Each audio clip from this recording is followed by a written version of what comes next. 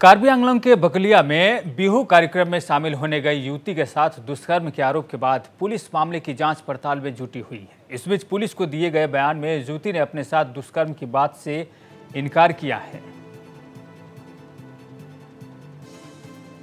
যোৱাকালি দেউতাকে এখন এফ আই আৰ দিছিলে এফ আই আৰখনৰ ভিতৰত আমি পি ষ্টেপ এটা লৈছিলোঁ কালি জেগাবিলাক আমি ভিজিট কৰিলোঁ কৰি পেলাই তেনেকুৱা ধৰণৰ একো হেৰি পোৱা নাই আৰু সেইটো কাৰণে আজি বোলো ডক্টৰৰ পৰা আমি কি ৰিপৰ্ট পাওঁ আৰু ডক্টৰৰ পৰাতো এতিয়ালৈ তেনেকুৱা ৰিপৰ্ট আমি ভালকৈ পোৱা নাই ৰেপ হোৱা বুলি আমি কোনো পোৱা নাই আৰু ছোৱালীৰ ষ্টেটমেণ্টেও সেইটোৱে কৈছে ৰেপ নাই হোৱা তাইৰ লগত আৰু তেওঁ এটা বেলেগ গাড়ীত উঠি গুচি গৈছিলে আৰু গাড়ীৰ পৰা পৰিছে পৰি পেলাই তেওঁ মূৰত দুখ পাইছে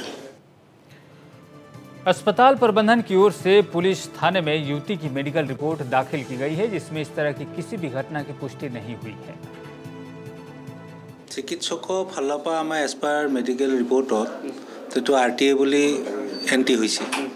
আমি আৰ টি এ কেছ হ'লে এম এল চি ৰিপৰ্ট দিব লাগে আমি থানাত সেইটো ৰিপৰ্ট দিছোঁ। সেই ৰিপৰ্টৰ মতে আমাৰ পুলিচৰ মানুহ আহিছে তেওঁলোকেও ইনকুৱাৰী কৰিছে। তে তেওঁলোকে ষ্টেটমেণ্ট লৈছে সেইমতে ৰিপৰ্টটো আগবাঢ়ি যাব। আমাৰ আমাৰ- মেডিকেল চায়েন্সৰ মতেতো এইটো আৰ টি এ কেছ বুলি কৈছে। আৰু ইয়াৰ পৰা ইঞ্জুৰিটো ব্লাণ্ড ইঞ্জুৰি বুলি কৈছে। এজ পাৰ ৰেকৰ্ড সেইবুলি লিখা আছে আমাৰ তাত। আমাৰ মেডিকেল অফিচে এইবুলি ৰেকৰ্ড কৰিছে। আৰু তাততো তেনেকুৱা ধৰণৰ যিটো কথা ওলাইছে সেই কথাটো কোনো ধৰণৰ ৰিপৰ্টত নাই। নাই নাই সেইটো নাই।